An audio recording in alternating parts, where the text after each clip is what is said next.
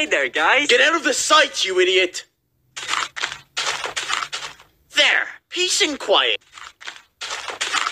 Change my mind.